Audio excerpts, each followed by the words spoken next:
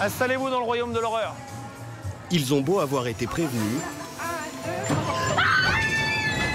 Une fois partis, rien ne va plus.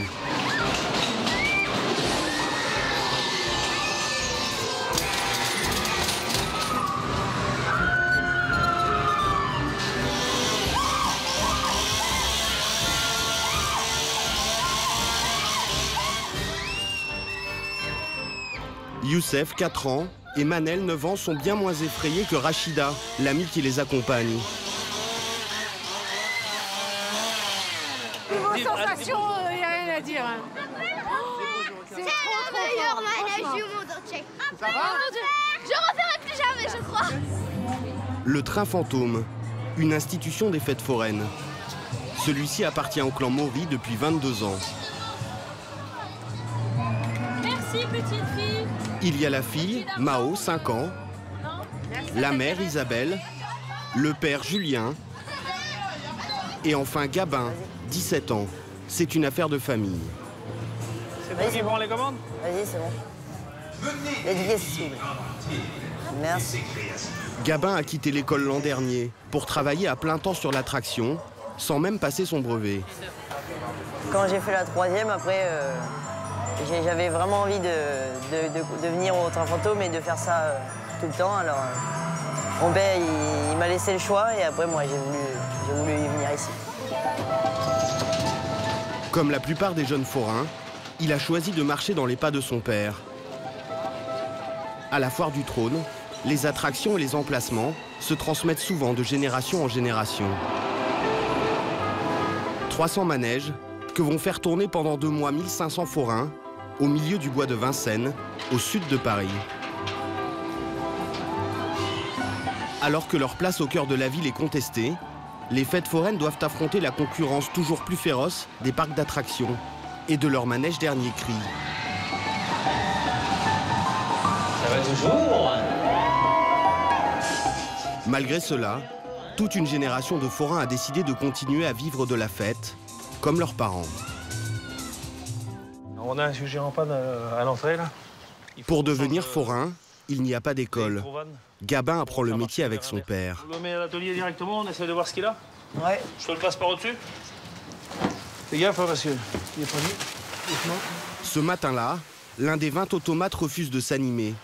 Un zombie, acheté il y a à peine deux ans. L'occasion d'une petite leçon d'électromécanique. Au Ouais. niveau de- du bus, il a du mal à fonctionner, c'est ce que tu as vu toi hier soir. hein. Ouais, c'est ça. Là, ici, tu as le vérin euh, central. Donc, à mon avis, à mon avis, hein, c'est lui qui fait plus son travail. Donc, tu me changes ça, et puis euh, normalement, il devra fonctionner. On a des pannes, euh, des sujets, on a des petites choses à faire. On apprend à souder, à travailler le bois et tout ce genre de choses. Gabin, euh, disons qu'il est à moitié de formation euh, actuellement. quoi. Je te laisse prendre le bois. Pour l'instant, Gabin ne touche pas de salaire. Son père lui donne de l'argent de poche. Tu me le mets en route, s'il te plaît? Voir si ça fonctionne. Mission accomplie. Le mannequin fonctionne. Gabin doit apprendre à réparer les automates, mais aussi imaginer de nouveaux personnages pour les quatre comédiens postés tout au long du parcours, tous inspirés de films d'horreur. On a euh, Saut, hein, c'est un des, on va dire, un des classiques qu'on a. Ici, on a le clown hein, qui plaît vraiment toujours. Et on a euh, un classique aussi qui est Vendredi 13. Celui-ci, c'est Gabin qui en a eu l'idée. Le cochon, c'est aussi un autre personnage de Saw.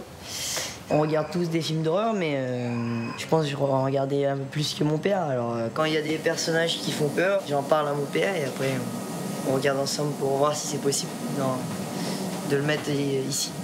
Valé, euh, tu, tu te mets à la sortie? Gabin est l'héritier d'une dynastie qui travaille depuis quatre générations dans les trains fantômes. Juste derrière l'attraction, la caravane de sa grand-mère. Ça va? Un deux pièces de 25 mètres carrés avec un petit salon pour prendre le café. À 77 ans, Jocelyne est à la retraite Après une vie passée dans les foires, elle a du mal à raccrocher. Moi, j'ai un appartement, bien sûr, depuis le temps. Et puis, euh, ben, je garde ma caravane quand même. Et mon fils, il me met une place partout où je passe. Et je suis quand même utile parce que quand ils ont besoin, je les aide. Voilà. Puis il y a quand même les petits-enfants, tout ça. Et pour aider son petit-fils à bientôt monter sa propre affaire, Jocelyne lui a offert ce train fantôme, ici sur la photo. Elle l'exploitait avec son mari.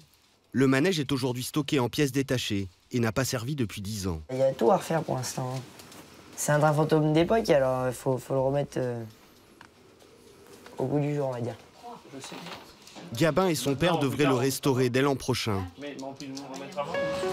À l'autre bout de la foire, d'autres enfants de forains ont sauté le pas.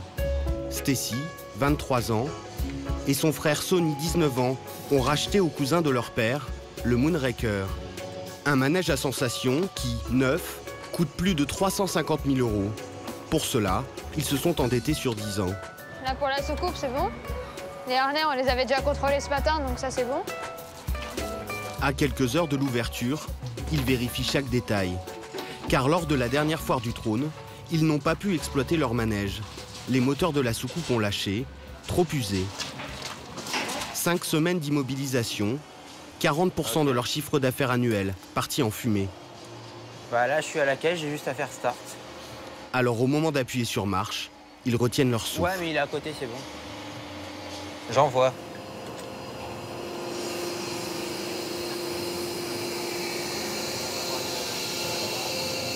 Là, on l'entend s'accélérer. Et on le voit aussi. Ça va, vous êtes content Tout marche comme prévu Impeccable. Ça suit bien le mouvement. Ils sont prêts. Pour eux, la fête peut commencer. Allez, on y va, on en profite, on avance. Allez, pour combien? La foire du trône est un énorme enjeu pour Stacy et Sony. Ils y réalisent la moitié de leur chiffre d'affaires annuel. Allez-y. Mais ces dernières années, la fréquentation est en baisse. 2 millions et demi de visiteurs l'an passé, c'est 30% de moins qu'il y a 5 ans. Ce week-end de Pâques, il fait gris et les allées sont quasi désertes. La soucoupe ne fait jamais le plein. Allez, on y va, c'est parti. Alors qu'ils sont à leur poste depuis midi jusqu'à 1h du matin, Stacy et Sony ont du mal à se verser un salaire régulier. Ils doivent compter sur l'aide financière de leurs parents.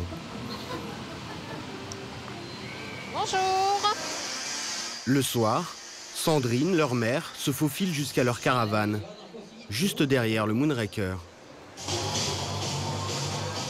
Allez. Une trentaine de mètres carrés, avec deux chambres. Deux fois par semaine, elle remplit le frigo. Voilà. Voilà. Petit peu de ravitaillement pour la semaine.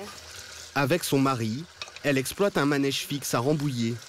Mais pendant longtemps, elle a connu elle aussi la vie de nomade, dans une caravane bien plus exiguë. Nous, on avait une toute petite caravane, mais bon, avec mon mari, on était que tous les deux, donc ça nous suffisait. 6 mètres. Oui. Bah, on vit dans 6 mètres. Hein. bah oui, bien sûr, on a tout ce qu'il faut. Du, de l'instant que c'est bien aménagé à l'intérieur, on a tout ce qu'il faut. Comme beaucoup de forains, Sandrine a rencontré son mari lors d'une fête foraine. Au boulot Un univers à part où la plupart des gens se connaissent et se retrouvent de foire en foire. Ce soir-là, d'ailleurs, c'est chez un cousin que la mère et la fille vont dîner. Salut Comment tu vas? Stacy est encore célibataire, mais elle sait qu'il sera compliqué de se mettre en couple avec quelqu'un qui n'est pas forain. C'est pas facile de faire des rencontres. Euh, non, pas tellement. Le problème, c'est que moi, je travaille les week-ends. Les gens sédentaires, en général, ils ont que le week-end de repos. Donc, euh, c'est un peu incompatible. C'est un mode de vie où il faut être habitué. C'est pour ça qu'il y a très peu de personnes, si on n'est pas né dans ce métier, qui peuvent assumer. Nous, on a baigné dedans, donc on sait à quoi s'attendre. C'est la raison pour laquelle les forains se marient entre eux. Bien sûr, voilà, bien sûr.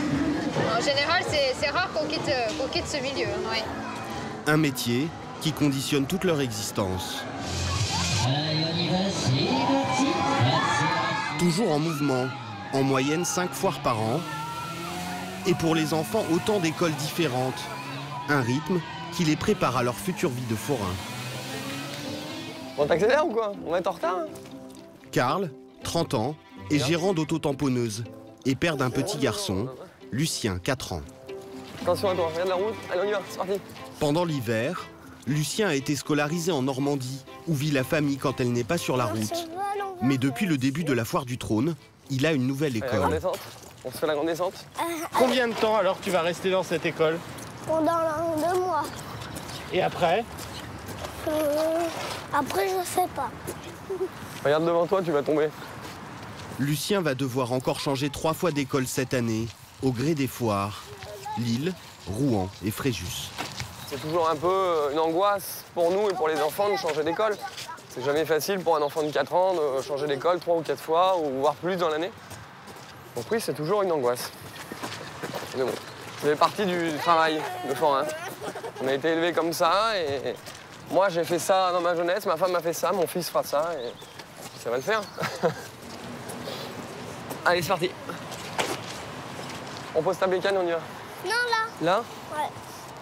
En plus des auto-tamponneuses héritées de sa belle famille, Karl a investi il y a six ans dans ses trois stands de pince à peluche, 20 000 euros pièce, achetés à crédit. Et voilà pour toi, mec. À mon avis, c'est celui-là qu'il faut viser. Allez, on y va. Là, c'est royal. hein. Là, attention, ça devient plus que sérieux. Il paye 20 000 euros de redevance à la mairie de Paris pour avoir le droit d'installer ses manèges et sa caravane pendant deux mois, le temps de la foire du trône. Voilà pour vous, monsieur. Attendez bien le prochain départ, hein Mais ces derniers temps, la fête foraine a moins la cote auprès des villes, trop bruyante.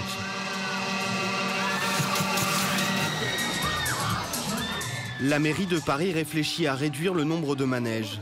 Karl redoute que l'on déplace la fête hors de la capitale. C'est hors de question d'aller faire la foire du trône euh, en banlieue, quoi. La foire du trône doit être au cœur de Paris. C'est la fête foraine de Paris. Avant, elle était à Nation. Maintenant, elle a été à, à Pelouse de Reuilly. Il faut qu'elle reste là. Ça, c'est le combat de la nouvelle génération, vous pensez?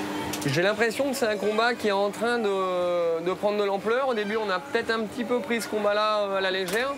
On essaie d'être toujours alerte à ça pour pas, euh, pour pas qu'une loi soit votée et que ce soit trop tard, quoi. hein. Karl souhaite que son fils hérite un jour de ses manèges et qu'il puisse ainsi perpétuer une tradition familiale vieille de plus d'un siècle.